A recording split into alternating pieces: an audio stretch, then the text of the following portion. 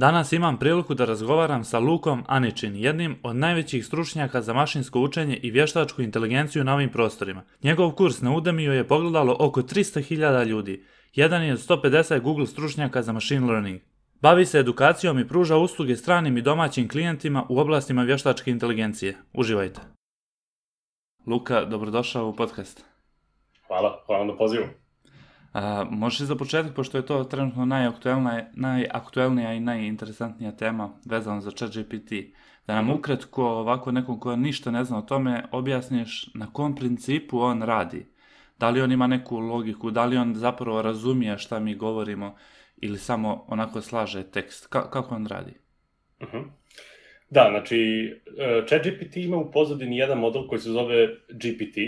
Uh, sad koji je to koja je verzija, da li je to 3.5, 4, da li je to prethodno bila neka druga verzija. Uh, oni su trenirani, ti originalni modeli su trenirani da izgenerišu sekvence teksta. Znači, u suštini ideja jeste da se na osnovu velike količine teksta koji im se da tim modelima, to su knjige, blogovi, uh, ne znam, uh, skripte različitih video snimaka i tako dalje. Znači, sve što može da se stavi u nekakav tekstualni sadržaj, oni su koristili da istreniraju uh, GPT 1, 2, sada do 4. I kad se treniraju ti modeli, oni se treniraju da ako im damo prvu reč u rečenici, oni moraju da izgenerišu drugu. Pa onda prve dve, za treću i tako dalje, dok ne izgenerišu celu rečenicu. Odnosno ceo tekst, u zavisnosti koliko sekvencu ono što moramo da seta, setujemo ovaj, u GPT-u, koliko je ta sekvenca duga koju mi možemo da, da damo tom modelu. E sad, taj model je ok za, ajde kažemo, nasumično generisanje teksta. Znači, on je treniran samo da radi to što, kažemo, um, je treniran inicijalno da na osnovu nekakvih parametara koje smo mu dali i na osnovu te količine teksta da izgeneriše novi tekst. I ako odete sada recimo u OpenAI API, imate i dalje takve modele, kao što su DaVinci, Ada i još mislim dva druga, koje nisu za chat potencijalno mogu da izgenerišu nekakve konherentne odgovore, ali oni su najbolji ako mu damo početak recimo nekakvog, e, nekakvog storija, nekakve priče i on na osnovu tog početka da uzme i da generiše ostatak. I to sasvim ok radi. Međutim, uh, i prethodno, pre uopšte GPT-a imali smo jako puno nekakvih modela koji su bili tu za generisanje takvog teksta. Znači, kao što je Bard, uh, kao što je, pa i Palm je nastao od strane Google-a dosta pre GPT-a 3.5. Znači, svi ti modeli uh, su bili um, sa idejom, kažem, da izgenerišu nekakav tekst u odnosu na prvi tekst koji smo mu mi dali. Nekakav taj inicijalni prompt koji mu mi damo. Jako davno, sada jako davno, s obzirom da tehnologija sve jako brzo napreduje, recimo u 2015-16. za takav nekakav model koristio se rekurentna neuralna mreža ili ti Recurrent Neural Network, odnosno RNN, te god budete kucali na internetu, to je nekakav model koji se koristi u to vreme, gde mu mi damo reči ili slova i on uzme i generiše naredne karaktere ili reči. E sada, kad je nastao 2017. Transformer, GPT, um, on od tada se koristi zato što je mnogo bolji i koherentniji u generisanu ostatka teksta. Međutim... To je znači neka druga vrsta algoritma koja se koristi, tako je. može se tako reći? Tako je, znači i dalje je to neuralna mreža u pozadini, međutim jedna glavna stvar koju su dodali, a takozvani attention mehanizam, gde recimo mi kada damo nekakav input, te parametre, odnosno tokene koje smo mu dali, kad kažem token, mislim, ajde kažemo za podjedno, jednostavno objašnjavanje stvari, jedna reč. Znači, nešto manje jedan token od jedne reči, ali aj zbog jednostavnijeg objašnjavanja, znači jedan token je jednako jedna reč. I kad mu mi damo celu rečenicu koja je podeljena na te reči i kažemo generiši sledeću reč, to može da bude reč i dalje na engleskom, znači samo nastavi tekst, a može da bude i, na primjer, prevedi mi sa engleskog na kineski ili prevedi mi sa engleskog na nemački gde on mora da vidi koji deo, koje reči konkretno u toj rečenici imaju najveće uticaja na reč u outputu koje mi generišemo. To je takozvani taj attention mehanizam.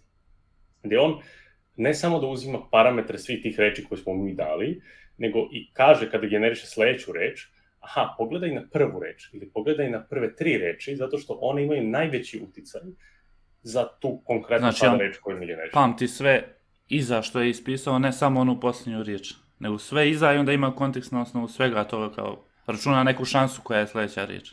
Tako je. Znači uvijek je taj, ta šansa, odnosno probability, koliko će, koje je najverovatnije da bude sljedeća reč u suštini. E, I sada to što si rekao pamti, znači imali smo najveći problem u, kad smo koristili RNN, te prve modele, rekurentne neuralne mreže, gdje je on jako često zaboravljao šta je početak rečenice i obraćao je pažnju na kraj, na primjer. Jer je najveći utjecaj imao na onu reč, jer skoro smo mu dali, jel? E, I onda je bio problem taj što ono ako je, na primjer, početak reči jako bitan, na primjer, I love this car, car će imati najviše utjecaj na nekakav output, dok, na primjer, I kao subjekat te rečenice je jako bitna stvar, tako? Ali on će zaboraviti potencijalno, pogotovo ako imamo dugu sekvencu tih reči. I love this car je kratka, ali zamisli da imamo, ne znam, hiljadu reči. To je već predstavlja problem. Taj attention mehanizam nauči tokom treninga, on se također uči, ako imamo hiljadu reči, e, kao, za, nemoj da gledaš ovih prvih 500, nisu toliko bitne, ali pogledaj 501. do 505. reči, zato što su one jako bitne za generisanje sadržaja koji sada treba da se generiše. I sada to su modeli za generisanje ovaj teksta i takozvani language modeli. Znači, ako pogledate na internetu, postoje large language models, odnosno language models, i sve ovo što sam sad objasnio su u suštini modeli jezika. To je ništa drugo nego model koji na osnovu nekakvih reči ima verovatnoću da kaže koja je sljedeća reč. I to je to. To je language model. I najčešće ima primjer, recimo svi koristimo tastaturu kad kucamo nešto u telefonima, e, na osnovu vašeg korištenja telefona vi imate primjer onih ponuđenih reči, na primjer šta je najverovatnije da vi ukucate. Da, to je vaš language model. To je language model nije na skali kao ChatGPT, odnosno GPT, ali i dalje language model i na isti način funkcioniše. A da li mi možemo, na primjer, pošto sam vidio da ChatGPT ima svoj API, da li mi možemo da, evo, na primjer, da li, ja, da li bih ja mogao da mhm. uzmem, na primjer, da na neki način skrejpujem, sve moje poruke koje sam ikada razmijenio sa bilo kim na Instagramu, a razmijenio sam ih baš puno, a, i da sve to uzmem i da istreniram ChatGPT da odgovara kao ja. I na primjer napravim svoj chat bot i da ga stavim na svoj sajt i svaki put kad mi neko pošalje poruku da korisnik sa druge strane ima utisak kao da sam mu ja odgovorio. Znači da odgovara u istom stilu, ali uh odgovara tačno ono što treba. Uh, polo je moguće trenutno, zato što e, za sada koliko sam upućen, uh, API njihov, odnosno kad kažem njihov, mislim na OpenAI, nema support do treniravanja uh, chat GPT modela, odnosno GPT 3 i 4.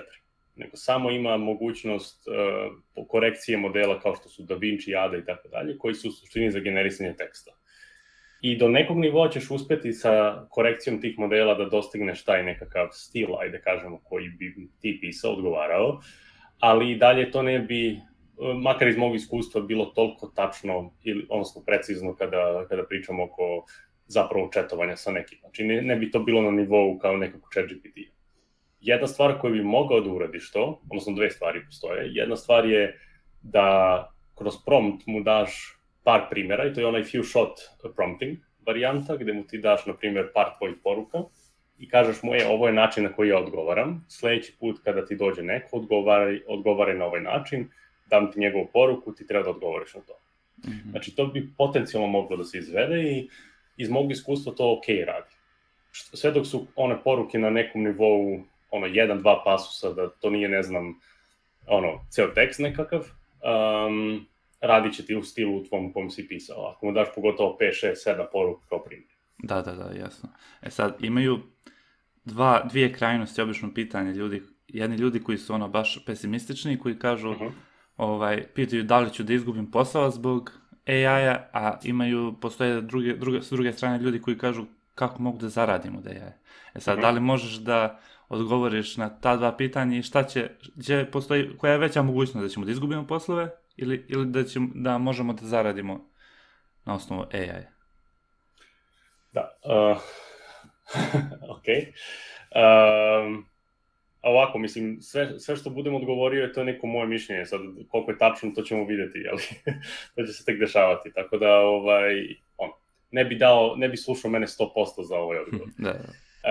Um, ovako, znači, što se tiče kupljenja posla, ajde kažemo da je to neminovno da se desi, ali ne u onoj skali u kojoj sad trenutno ljudi pričaju. Da li treba biti zabrinut? Pa sad zavisi od čega se, čemu, čime se bavite. Ako je nekakav back-end office koji je manuelni posao, i ako samo vaš posao radi jednu jedinu stvar i ta stvar može biti zamenjena, pa očigledno je da da. Znači, već smo i videli automatizaciju mnogo nekakvih stvari od knjigovodstva, do koji smo odjednom imali sad ono, cele, celokupne nekakve automatizacije toolove koji sređuju knjigovodstvo, ono, par klikova a, iz faktura, to već postoje, nema veze sa AI-em. I, I onda su knjigovođe ili morale da se adaptiraju i da nauče da koriste te toolove, ili su prosto ostali bez posla. I to se dešavalo, znači, sa tehnologijom i tehnološkim nekim promenama na svim poljima. Međutim, problem sa AI-em jeste što se dešava jako brzo. I, I baš iz tog razloga što je jako brz, nepredvidivo je. Znači ja sad bilo šta da kažem, ne znam, ovaj tool se proizvodio, marketirao, testirao i tako dalje i onda došao na tržište i ovi koji su bili u, aj u ovom primjeru knjigovodstva, mogli su na neki način da se adaptiraju ako su pratili te promene. Um, što se tiče, kažem, AI-a, uticat će na sve nas, i, za, i na programere, i na ovaj, nekakve biznis poslove, na HR, na sales, na marketing, Znači, u suštini, skoro ceo landscape će biti uticajan, uh, uti, pod uticajem nekakvog AI-a. Koja količina, kažem, sad zavisi i vidim da imaju kompanije koje su male, znači par nekih programera, 5, 6, 7, iz Amerike pogotovo, koji su baš ekstremni i idu tipa na nivo da već sada otpuštaju 3-4 programera zato što misle da će istom brzinom postići sa dva koji koriste da li je to, GPT. Da li je to možda malo preuranjeno? Da li je to Absolutno. malo apsolutno. Ja kada bi bio na njihovom mestu, to nikad ne bi uradio. Ali, ovaj, kažem, znači, oni, oni koji to rade, mislim da ne, ne razmišljaju long term baš. Iz prosto razloga što sada trenutno, ovaj, ako to urade, potencijalno će e, on sebi skratiti noge i, i opportunity da zapravo rade kvalitetan kod. Um, de, ChatGPT, iako može da generiše kod, iz mog iskustva, to nije najkvalitetniji kod. Da. I neko Uvek... ko, neko ko nije developer i ko ne zna dobro, ovaj, ne može nikada da, da iskoristi chat GPT da napravi nešto imalo ozbiljnije, jer uvijek moraš da mu daš instrukcije i uvijek moraš da pregledaš taj kod da vidiš da li je on dobar i često moraš da ga ispraviš. Da, Uh, mislim, to, uh, recimo, zavisi koliko si srećan sa promptovima, bih rekao. Imam jednog druga, baš primer, uh, za, koji nije developer, on je iz marketinga, I kad je nastao prva verzija ChatGPT-a, znači ono baš lošije u odnosu na ovo što sad imamo, on je seo i napravio plugin za Chrome u par sati, a, tako što je iz, promptova na neki način uzeo, iz, iskopirao kod i pitao šta da radi on sa ovim kodom, i on mu je rekao koje fajlove da posloži i tako dalje, i u suštini imao ideju baš šta da recimo za Google Meet, a, da, da ima, da ima belo oko Google ovaj, ljudi, odnosno ljudi na kolu, da bi recimo u mračnoj sobi gde nije toliko dobro osvetljenje imao malo više svetla mm -hmm. kada gleda u ekran. Jednostavan plugin da se napravi, ali on, kažem, čovek nije iz marketinga, uh, iz, je iz marketinga, nije iz developmenta i uspeo je tako nešto da napravi. Ovaj, e sada, znači, to je jednostavan task, ali sada kada god idemo na nekakve veće stvari, pogotovo kod sa više fajlova, sa integracijom, sa serverom, sa šta god da je nekakva kompleksnija ovaj, interakcija, to ChatGPT ne može, pogotovo ako već imate nekakav kod koji ste vidi napisali sad hoćete da radite korekciju ili upgrade, morate da kopirate taj kod u ChatGPT. Ali to je prva stvar koju učim ljude koji koriste da ne rade to. Iz prosto razloga što taj kod potencijalno može da ostane kod njih. Iako mi isključimo onaj security check da to ne ostane, mi ne znamo šta će model da zapamti iz tog, iz tog prompta. Da, to već da. nije toliko na ljudima. Kao što se ranije dešavalo, to je dešava se sada da ljudi, na primjer na GitHub, okače svoj repozitori i ostane im API key, se sve, sve im ostane. Da, tako pretpostavljam da sad ljudi čak imaju možda i više povjerenja u ChatGPT, pa pastuju sve moguće, šifre, Uf, API, da. endpoints i sve, sve, sve moguće. Sve moguće. IP-eve, vidio sam, znači vidio sam ljude koji su ceo backend uh, pastovali uh, pastovali u chat GPT i on im je dao odgovor, ali onda sve od, sve od toj IT firme je sad odjednom u chat GPT. Jer si zaboravio da isključiš da ti obriše kod kada završiš. Da, da, da. I onda, ono, u suštini sebi kratiš noge, kao što sam rekao. Tako da, uh, kažem, što se tiče tih programerskih poslova, uticaće na njih ne samo ovaj, chat GPT, mislim, tu imamo i Copilota koji meni jako pomaže u day-to-day -day poslu. On je jako koristan tool, ali svakako ako tipa si sad imao, ne znam, dva developera koji bi morali da urade sve to, ti sa copilotom stvarno možeš da ubrzaš sebi workflow. I on je baš dobar. Ne znam kako je tvoje iskustvo za to, ali moje iskustvo je sasvim pozitivno. A, nis, nisam ga koristio, a, nisam ga probao jer ono, ChatGPT mi je sasvim ok radio, tako da nisam ono imao potrebu neku da probam, ali imam, imam u planu da probam i njega isto. Probaj, mislim da je sada nešto i, i džabe da možeš da uzmeš, Uh, nisam siguran koja je sad cena. Bila je 10 dolara, ali mislim da je sada i, i besplatno. Ali ono, meni pomože zato što ne moram nigde kod da šaljem. Uh, sve radi lokalno na tvom kompjuteru i pritom može da radi reference iz različitih fajlova, što je izuzetno dobra stvar. Da, da, da. Postoji, da, postoji još jedna teorija u vezi tog uh, otpuštanja programera, uh, da zapravo to što ChatGPT i drugi AI alati mogu da pomognu programerima da to neće dovesti do otpuštanja, već do toga da će ljudi moći da rade više projekata jer će u budućnosti biti potrebno više nekih projekata da se uh mhm. -huh. rade, tako da umjesto da se otpuštaju ljudi, moći će više projekata da izbacuju, da budu produktivni. To jest ekonomija, kada se ekonomija bude razvijela još više, da ćemo imati veću produktivnost i da će programeri imati šta da rade, čak i ako koriste i AI alate potpuno se slažem sa time, mislim da će definitivno da se ubrzaju. Uh, mora da se nauče stvari, da se koriste na dobar način iz prostora razloga što ti alati kao i bilo koji alat za nas programere mora da, mora da se nauči i to je to. I koliko dobro znamo taj alat, toliko ćemo i mo moći da ga iskoristimo. E sada tu ima diskusija, ako krenemo u, taj, e, u tom domenu, ajde kažemo, da može sa jednim timom od 5, 6, 10 developera da se radi output malo ono veći, a, pitanje je sada koliko će se ceniti programeri. Znači, moje nekako mišljenje u tom slučaju će se spustiti cene po satu. I sada tu dolazimo do onoga, kao što sam rekao, na primjer, copywriteri, e, marketing ljudi, um, pa čak i sales ljudi do nekog nivoa, zavisi koliko su dobri, svi oni i programeri morat će da nauče skillove da kombinuju. Znači, po prvi put, iako je to do sada bilo i dalje tačno, ljudi su sad naučili jedan programski jezik, naučili su samo da programiraju na primjer, backend i naučili su samo da dizajniraju i onda su rekli, ok, that's my job, I'm gonna do that. Ali do, za sada, kako će, se, kako će se nastaviti, makar i kako što vidim sada po firmama, a, ljudi će morati da nauče da kombinuju svoje skillove. Programeri će morati više da budu socijalni, da moraju više da interaguju sa ljudima, da, da potencijalno nauče da prodaju svoje usluge na bolji način, da se ne bi baš ovo desilo da zavisi samo od jednog kompanije koje sada mora da smanji e, cenu po satu i tako dalje, gde će, na primjer, copywriteri morati da nauče na koji način da tačno targetiraju audience. I ja, moje mišljenje jeste da ChatGPT, odnosno AI, sad da li će to biti ChatGPT ili neki drugi tool u budućnosti, nikada neće moći, nikada, u narednih 10 godina neće moći da za, e, zameni najbolje copywritere na svetu Znači, da. every copywriter je definitivno da. Ali one najbolje koji se, ono, plaćaju ljudi po 200.000 dolara za jednu reklamu, neće tako moći lako da se zamene. Zato što oni tačno znaju kombinaciju reči i tačno znaju uh, koji je ono secret sauce koji oni daju njima i mislim da oni će biti safe. Zato što su izvan lige average, uh, average osobe koje je copywriter. Da. I to važi za marketing. Naprimer, ako je neko sada marketing uh, director of Google, neki level 7, on nije došao slučajno na tu poziciju. Znači, makar ja smatram da, je, da zna čovjek da radi, da šta, šta radi.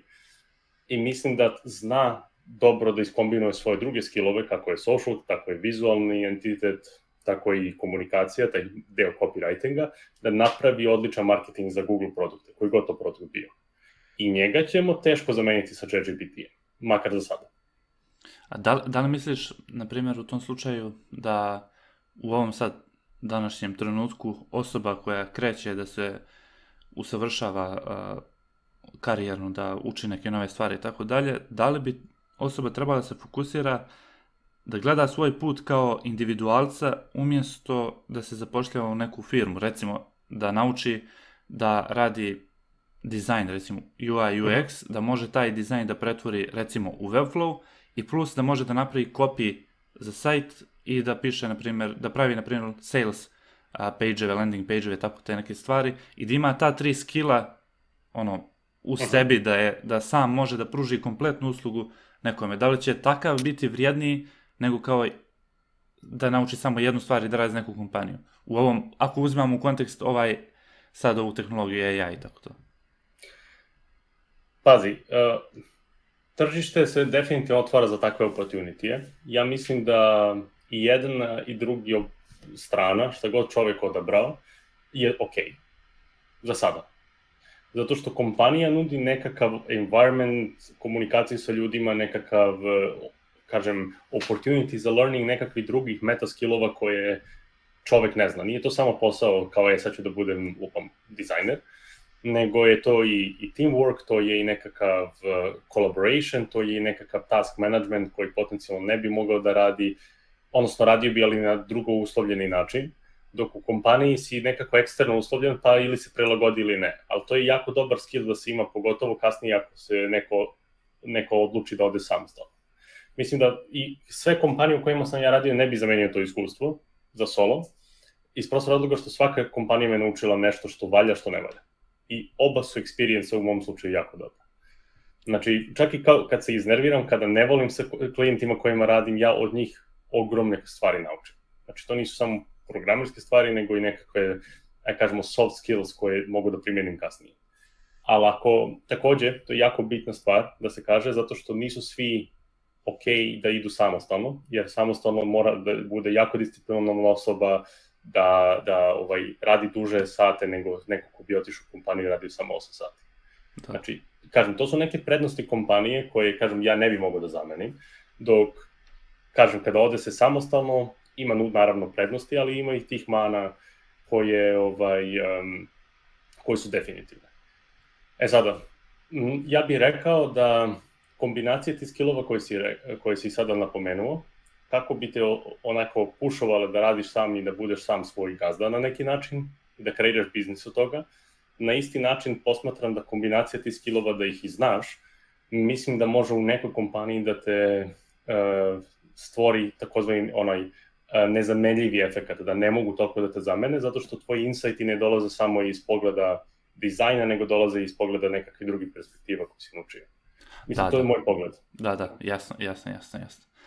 A recimo sad neki developer uh, ili programer, znači neko ko se već bavi ono, programira, uh, kako on može bilo da radi u firmi nekoj ili da je freelancer ili da ima svoju firmu, kako, šta bi on trebao da nauči sad vezano za AI da može to da upotrijebi na svom poslu ili da, da ponudi kao uslugu recimo klijentima ili tako nešto, a da nije korišćenje, na primjer, chat GPT-a, već ne znam, mm -hmm. da li može da im na, ne znam, ako radi WordPress sajtove, da li može da napravi neki dodatni plugin za WordPress sajt koji će koristiti neki AI da unapredi taj sajt. Ne, to je lupan tako neki primjer. Da li postoje neka dodatna usluga koja može ponuditi?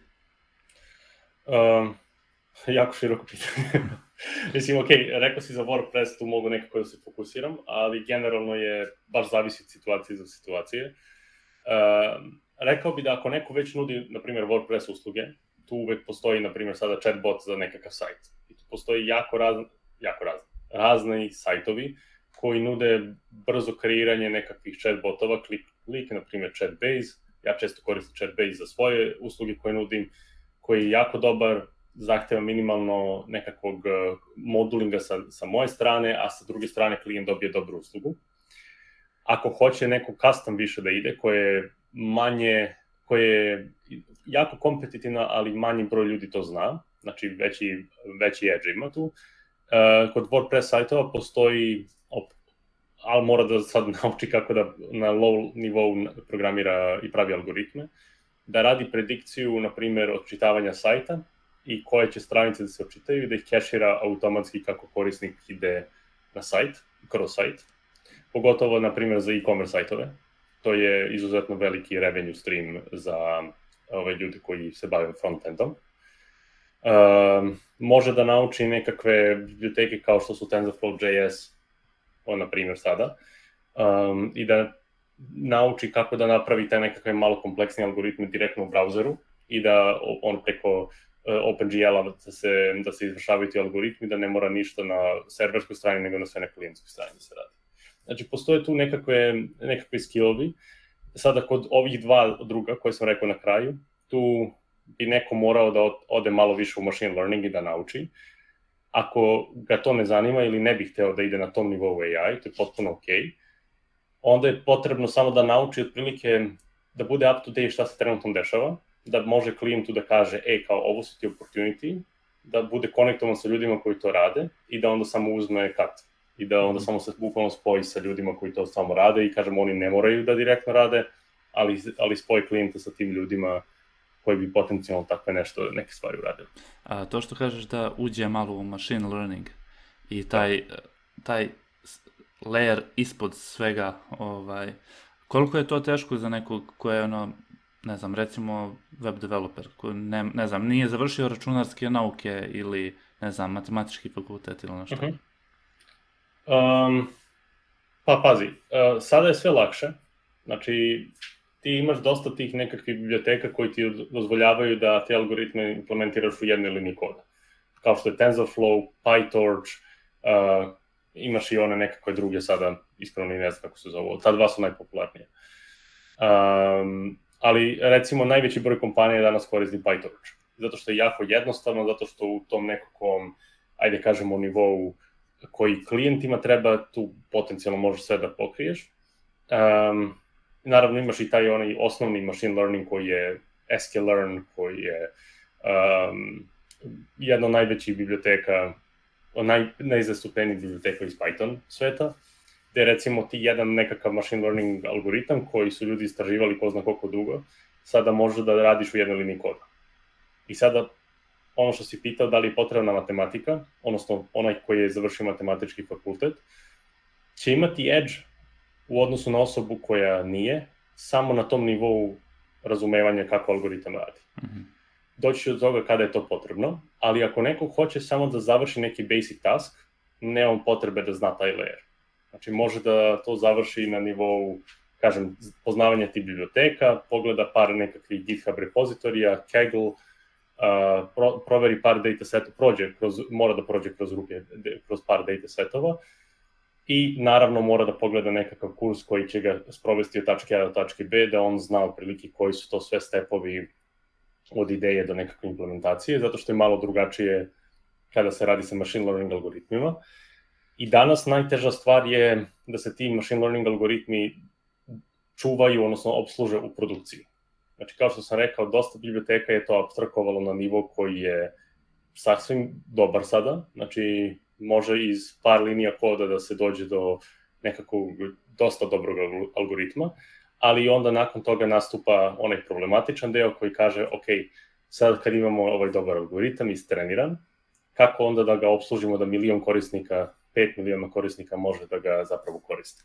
I to je onaj deo koji, koji je težak danas, ali tu više nije ni toliko machine learning, nego DevOps, odnosno backend development, i tu je kombinacija DevOpsa i machine learninga onda se zove MLOps, ali u suštini to je najveća strana serverskog, serverske manipulacije i obsluživanja tih modela.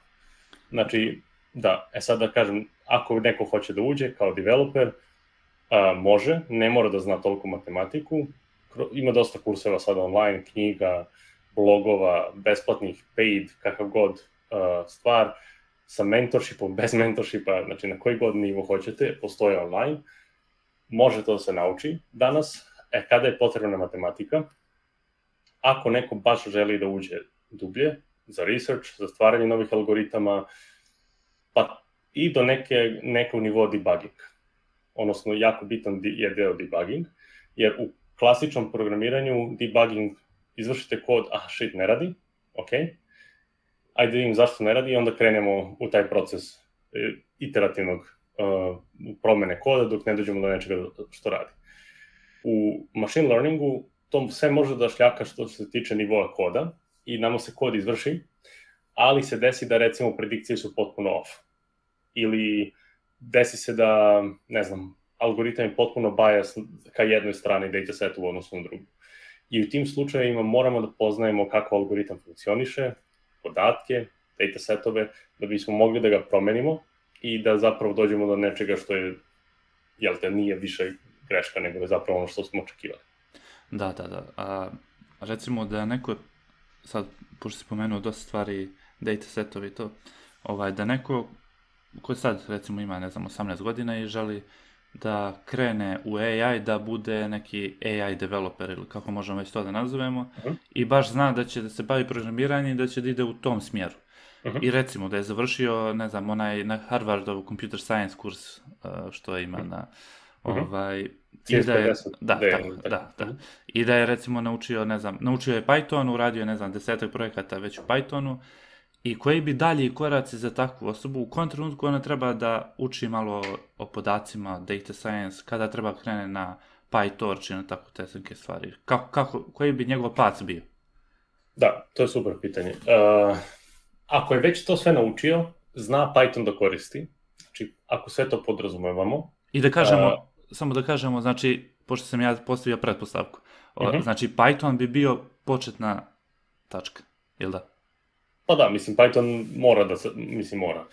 Najlakše ući i raditi sa machine learningom, odnosno AI algoritmima danas, jer uh, svi algoritmi su napisani u nekoj verziji Pythona. Mm -hmm. Tako da da, na, najveći opportunity, aj kažemo, ako bacamo fishing net, da, da lovimo šta nam je opportunity da, da probamo, Python je najveći taj fishing net, koji bi, koji tako bi ga nazvao. I šta, šta dalje radi? Šta dalje treba da učiti? Ovako, išao bi na, e, onda na nivo kreiranja portfolija, ali ne na nivo portfolija, e, znači kada ja moje studente savjetujem kasnije, onda bi išao na nivo kreiranja projekata koji njih zanimaju. Zašto? Zato što najveći broj ljudi koji mi se javlja uzmu najpopularnije datasetove na Keglu, kao evo vidi ja imam accuracy 99%. I don't care. Znači šta si ti naučio na tom projektu, to mene zanima. I onda da uzme nekakav projekat koji njega zanima, koji će ga ono, kreirati od početka do kraja, I to može ne samo da bude, aha, evo ga data set, sad ću da istreniram algoritam pa idemo dalje, nego hajde da vidimo kako mogu ja u korisničke ruke da dam taj algoritam. Zato što gdje, mo... gdje on nađe taj dataset? Kako ga on dobije? Dva načina, doći do toga za sekund. Super pitanje, hvala. Um, znači, išao bi na taj način da kreira od početka do kraja, ali jako je bitno da se bavi nekim problemom koji njega zanima. Naprimjer, ako, ako pored programiranja čovek svira gitaru, neka napravi preporuku pesama, mm, šta da učiti, šta da nauči neki koji tek zna pet akorda, na primjer. Neka, neka dođe i kaže, ok, ajde sada da vidimo, uh, no, ima sad kompleksnih jako tu stvari koje mogu na ovom nivou uh, muzike da se rade, preporuka pesama, može da se radi automatski generacija tabova, mislim tu ima brdo neke stvari koje mogu da se rade, ali ideja je znači, da se kreira nešto od početka do kraja. Što se tiče dataseta, postoje dva načina odatle. Jedan je da se koristi neki predefined dataset. Taj predefined dataset može da se nađe online, na Keglu, na univerzitetskim sajtovima, na sajtovima nekih kompanija koje open source daju setove, na primer, self-driving kompanije obično kreiraju nekakve datasetove koji su, ajde kažemo, delom open source i koji mogu da se koriste za te research purpose stvari. Uh, Znači, tu postoje, kažem, dosta nekakvih online sajtova koji, uh, koji oni mogu da koriste. Drugi način koji je, ajde kažemo, i bolji za učenje, a to je kreiranje svog dataseta. Znači, kreiranje svog dataseta možda ide od najmanuelnijeg ekstrema, gde uzme čovek i beleži nešto, skuplja slike, pita na ulici šta ljudi rade, pa upiš, upiše u questionnaire neki ili ili uzme i, kažem, uh, downloaduje slike jednu po jednu, i tako dalje. Znači, to je jedan ekstrem. Skupljanje dataseta, radio sam i to. Znači, A može, nije... na primjer, može, na primjer, da skrepovanje. Skrepuje, da. Skrepovanje je drugi ekstrem, koji, ako postoje sajtovi, ako postoje mesta gde, gde ti, uh, gde ti datasetovi uh, mogu da postoje, uh, sorry, rekao bi da je skrepovanje u sredini. Znači, po težini, znači, da Znači, najteža je op opcija manuelno, scraping je u sredini, a najlakše da ozme, ode i da kupi dataset. Međutim, niko od nas, redko ko od nas ima opcije da kupi ceo dataset, iz prosto razloga što ti datasetovi mogu jako puno da koštaju, ali postoje i marketi online da ljudi kupuju data setove. Startupovi, kompanije, individue koje žele da uče, znači postoji ta opcija, ali ja ne bi nikada rekao na tu opciju da idu, samo kažem, moram da kažem da postoji.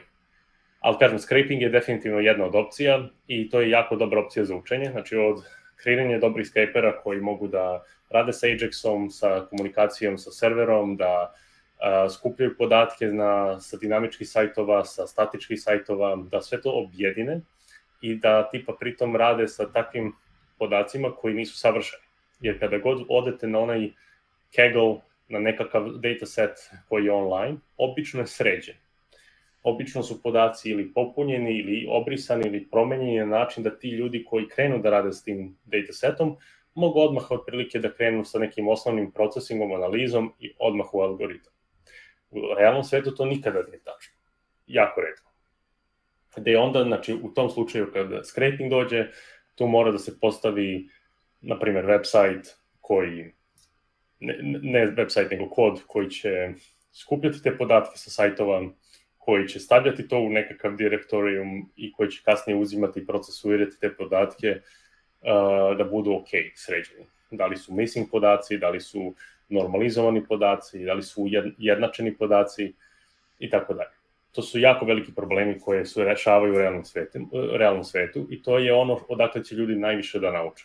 Znači, e, tu dolaze i tu se rađaju oni ok inženjeri koji mogu da budu i data scientisti, zato što u tom slučaju znaju ceo ovaj put, pa znaju i onda kasnije da rade s podacima. Znači, čisto jedan primer kakvog uh, dataseta možete da imate. Na primjer, hoćete da radite objedinjavanje par nekakvih uh, web sajtova za hranu. Ideja, Maxi i tako dalje, gde će, na primjer, zeleni čaj u ideji biti zeleni čaj, a, ali će u Maxiju biti čaj zeleni. Identičan produkt, identična cena, nebitno je, i sve su ostale iste stvari, ali ali ime drugačije. Linkovi naravno su URL-ovi su drugačiji. I sad kako napisati dobar algoritam koji će handlovati takav nekakav edge case, gde uglavnom među prodavnicama uh, imena više nisu isto. Mm -hmm, da, da, da, da, da. Znači moralo, moralo bi nekako to da se normalizuje, da postoji neki, da, na primjer, svuda piše zeleni čaj, ne da negde piše ovako, negde Tako. onako. Da, da, da. A, I, na primjer, sad, a, nakon toga šta, šta bi neko trebao da uči, da li da direktno krene, na primjer, na TensorFlow ili a, PyTorch ili tako nešto? Da, za, zavisi, znači zavisi šta mu je potrebno, zavisi šta je task. Ako ide sa nekakvim kompleksnim algoritama za obradu teksta, za obradu zvuka, slike i tako dalje, onda su to obično u današnje vreme takozvane neuralne mreže, odnosno deep learning. I u tom slučaju dve biblioteke koje najveći opportunity daju za kreiranje takvih i radom sa takvih algoritmima jeste TensorFlow ili PyTorch. Šta god odaberete, imaćete, pre, imaćete slično iskustvo danas, jer TensorFlow 2.0 pa nadalje i PyTorch sada 2.0 pa nadalje ima jako sličnu konstrukciju, sintaksa je malo drugačija, ali paradigma, odnosno način programiranja u tome je jako sličan, iste stvari možete postignati. Uh, rekao bih samo PyTorch je malo problematičniji za deployment, zato što nema infrastrukturu oko toga, jer Google se više bavi ovim delom kako da damo milionima korisnika da koriste ove algoritme. Ali bih rekao znači, da, da šta god uzme da se koristi, potpuno je ok za početak. I sada, ako se odluči da se radi sa slikama, kao ne, evo neko uploaduje sliku telefona, ja mogu da kažem odmah koji je telefon i nađem specifikacije i poredim sa najsličnim telefonima. To je super nekakav zadatak za početak. Uh, onda bi morao da se kreira nekakav deep learning algoritam za prepoznavanje tih telefona. Kreira se dataset, ono smo rekli, procesuira se, skupe se podaci, stavi se u neku bazu, istrenira se algoritam, e, i onda sad dođemo do, kažemo, pre treniranja algoritma, kao, ok, ja ne znam ništa ovoga. Dobro, super. To je odličan indikator da krenemo da učimo te stvari koje smo nepoznati. I sad, aha, hoću da obradim slike. Idemo na Stack Overflow, idemo na ChatGPT sada, idemo na Google i vidimo koji su opcije nama da treniramo takav sličan algoritam. I to je obično nekakav uh, CNN ili Transformer, nekakva neuralna mreža za obradu slike. I onda kažemo, dobro, ali ja ne znam ništa od ovoga, ja ne znam kako ove neuralne mreže funkcionišu uopšte. I onda se uzme kurs ima ih jako puno, CS231N, uh, Stanfordov, na besplatan, meni i dalje najbolji kurs za učenje uh, obrade slike. Uh, I oni ti objasne, objasne u 16-17 lekcija kako radi taj algoritam i kako se programira u TensorFlow. I sada odjednom to znamo. Super, sada se implementira to, znamo kako funkcioniše, znamo kako se koristi TensorFlow na tom nekom osnovnom nivou, ne znamo sve moguće funkcionalnosti, to je potpuno ok, i onda krenemo da vidimo, aha, ok, kako sad da ga integrišem sa aplikacijom. I onda krenemo da istražujemo taj MLOps deo, ali kažem, u ni u jednom momentu neće ljudi naučiti sve moguće stvari iz MLOpsa ili sve moguće parametre koje će koristiti u TensorFlow i zato se koriste taj pa, portfolio za učenje, gde će oni učiti konkretno da reše problem i ako žele da uđu u nekakav deo tog problema dublje, potpuno ok i mogu da rade ako imaju vremena. Da, a kako, kako bi neko, na primjer, mogao da zna uh, u kojim situacijama može da koristi AI, a u kojim situacijama bi to bio overkill i jednostavno bi mogao da koristi, ne znam, if else, if else? Uh, da, znači, ako je, ako je problem jednostavan, uh, i ako to ima super Andrew Eng je rekao, Andrew Eng je researcher koji je pokrenuo kurseru, uh, on je leadovo Baidu uh, Labs za njihove mape, za njihove AI sad sistem i tako dalje, jedan od jako poznatih ljudi iz AI industrije. On je rekao sledeće, ako ljudi mogu da završe to bez razmišljanja, kad kažem to neki task, za manje od jedne sekunde to AI može da radi.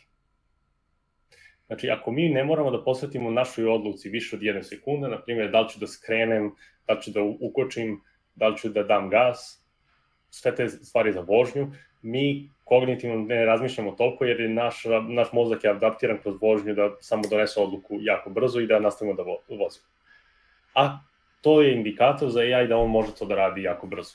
Takođe, prepoznavanje face. Ako mi znamo ko je to, mi ne, ne, ne idemo kroz nekakav proces od ne znam koliko minuta da, da saznamo ko je to, nego odmah, aha, to je Mark, to je Lazar, to je Luka i tako dalje. To takođe AI može da radi. Ako se radi sa nestrukturiranim podacima, slikom, tekstom, videom, audijom, da, u suštini to je to, onda se radi sa AI. Ako imate problem koji preveliki je scope rešenja, znači ne možemo da sagledamo toliki scope, pot, ne samo da bi bilo teško da se primeni i AI, nego tu već mora da se radi kombinacija različitih nekakvih primjena, da se to svede nekakav podskup rešenja, pa onda da se primeni AI. Ali uglavnom ovaj ne može direktno.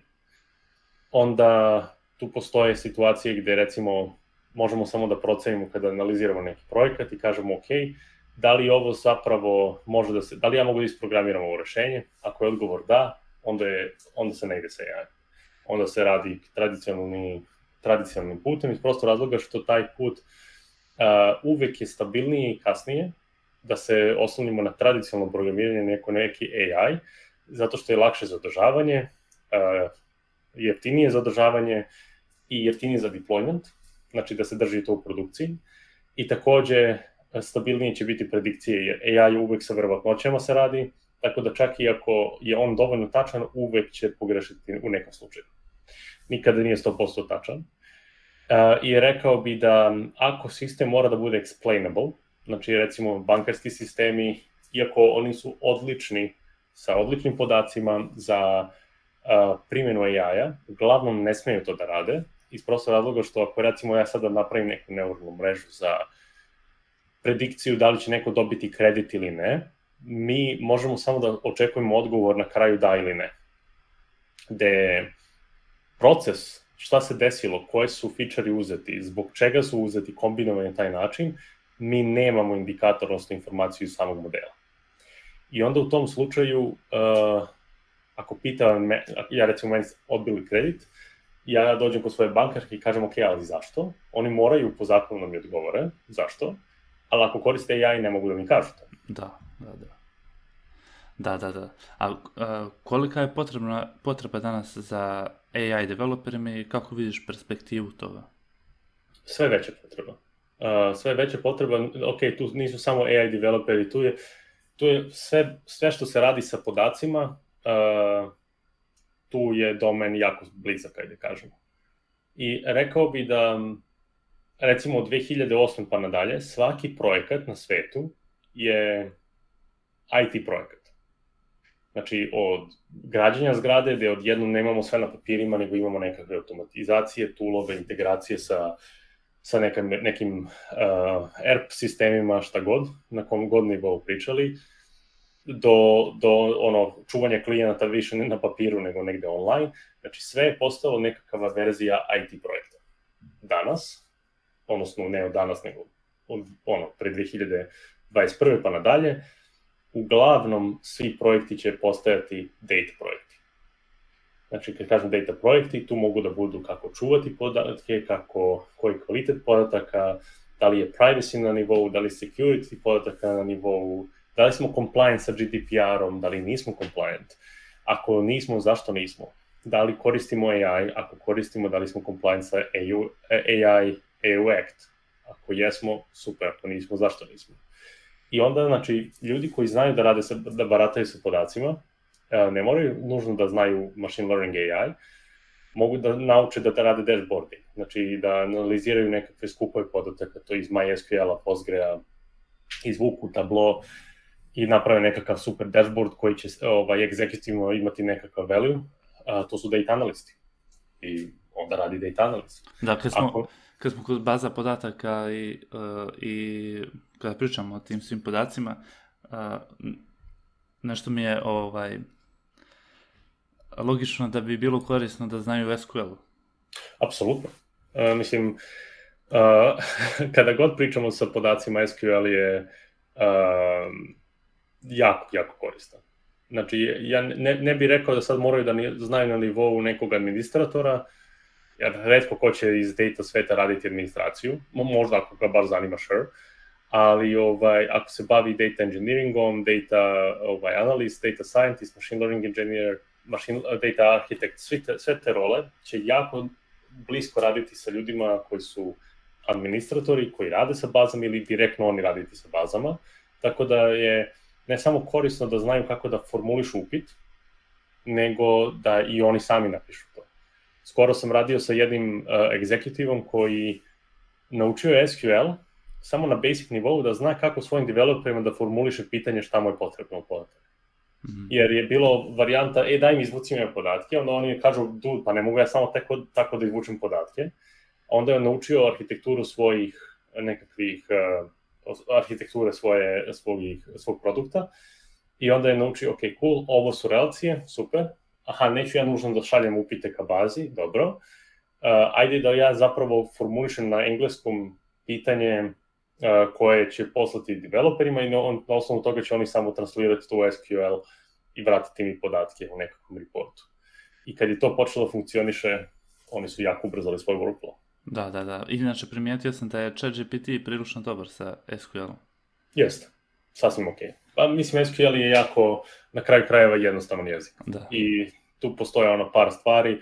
Naravno, ako ide optimizacija i sve te stvari, baze tu mogu da se idu u granularno kako god, da, ali da. na, na tom nekom osnovnom nivou ne mora ovaj, da se zna. A kad smo uh, kod sad chat GPT da se vratimo malo na to, uh, pošto sam vidio da ono, neki ljudi na društvenim mrežama govore da zapravo ljudi koji rade u OpenAI-u, koji su razvijali ChatGPT, ne znaju na kraju kakav će rezultat dobiti na primjer, da nisu znali da će ChatGPT da radi na drugim jezicima. Da li je to realno? Meni nešto to zvuči nerealno, jer ako su ga nahranili drugim jezicima, normalno će da radi sad na drugim jezicima. Uh, da, ali realno je. Zašto? Zato što nisu znali tipa da će Translate da radi. Mm -hmm, da, da, da. Ali su znali da će tipa generisati ako mu damo prompt na nemačkom, da će da nastavi da generiše na nemačkom. Mislim, to je nekako okej. Okay. Ali da mu ja kažem, evo ti na engleskom, izgeneriše mi ovaj isti kontent na nemačkom, to već nisu znali da će da radi. Da li postoji opasnost zbog toga? Zato što oni ne znaju tačno šta može da se desi kada nešto naprave? Naravno, mislim, on, ona inherentna opasnost uvijek postoji sa bilo kakvom tehnologijom, ali na kraju krajeva ja bih rekao da za sada makar, um, ti svi AI sistemi, kako god oni bili, ajde kažemo, čudni nedeskriptivni black box ili tako dalje, mi ljudi da, na kraju krajeva donosimo odluku šta ćemo s tim informacijama.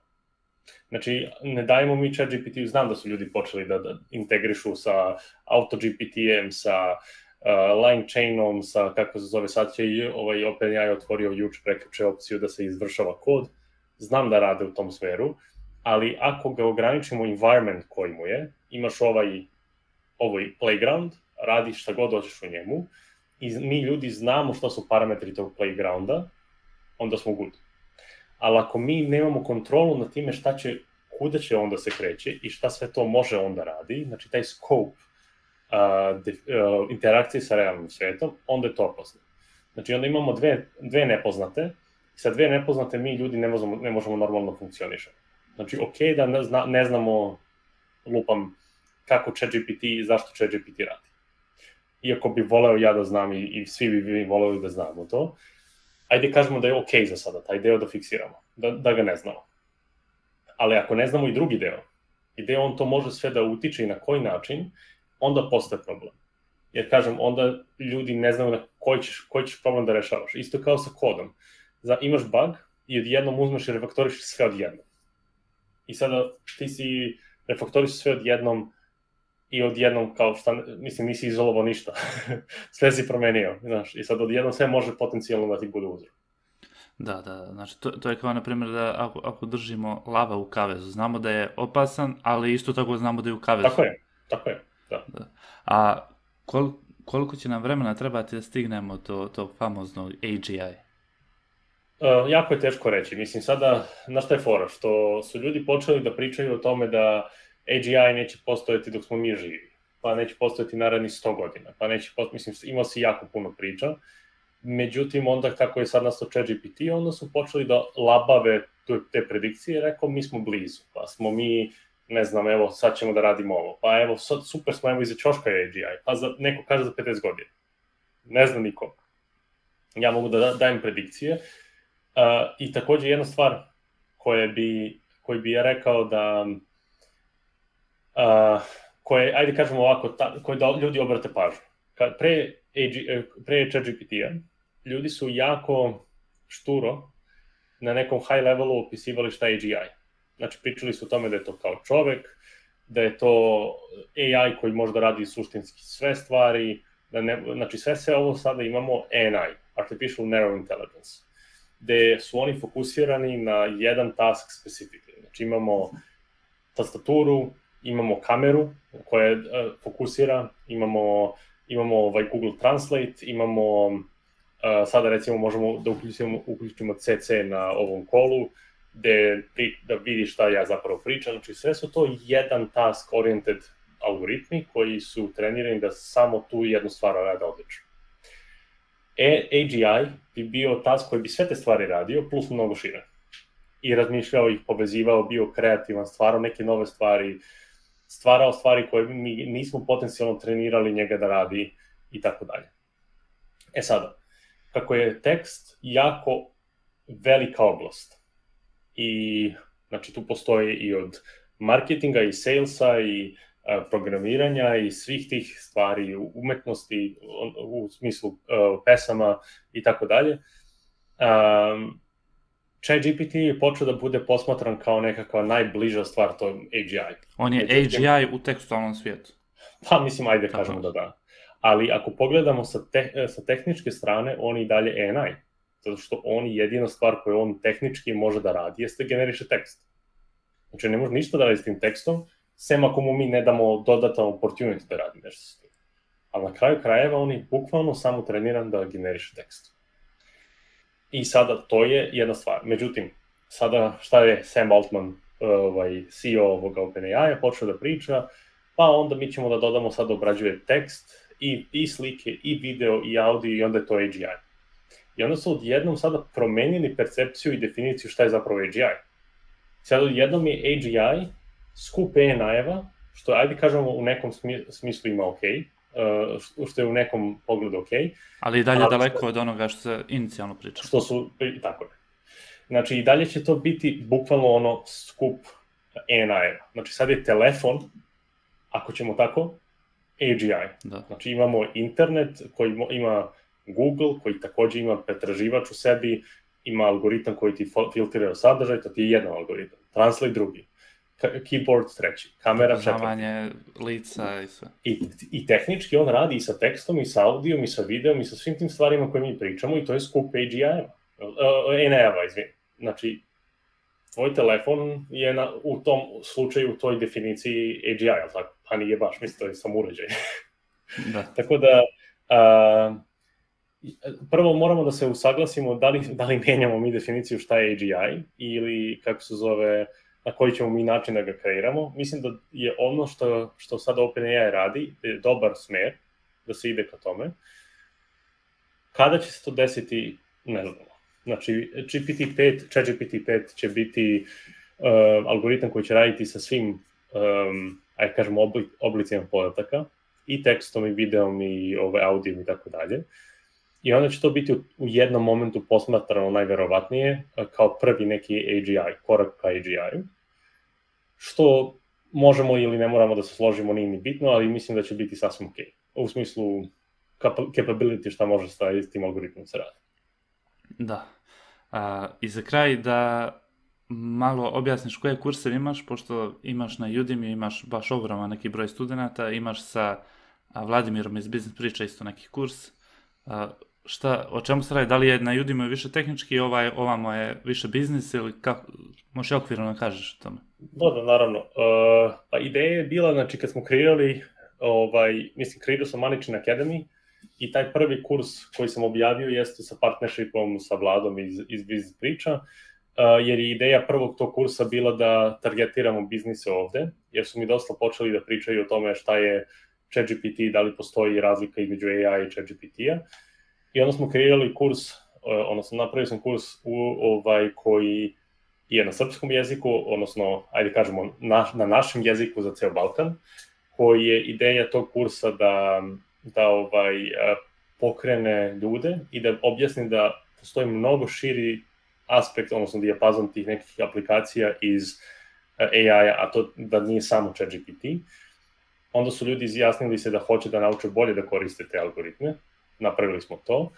I u tom kursu ljudi svake dve nedelje imaju sa mnom live stream. Uh, večera zapravo radimo Python, gde, je ideja da ljudi nauče kroz vreme sve više stvari koje se pokrivaju u, u AI-u i na taj način da staju, e, ostaju up to date. Što se tiče uh, Udemy-a, uh, tu imam ovaj, kurseve koji su uglavnom tehničke prirode, znači TensorFlow, AI, reinforcement learning i tako dalje. Uh, objavio smo, objavili smo preključe, Chris, Harun i ja, uh, kombinaciju biznisa i AI kurs, Artificial Intelligence and GPT kurs, koji je ovaj, slično kao samo engleska verzija ovoga na srpskom, ali nemaju mene kao suporta, na primjer, tamo, nego je to samo kurs kao, eto, to je to, dobili ste to, i neće biti updateovan toliko često. Um, ali na engleskom i dosta dobro kvalitetno snimljen.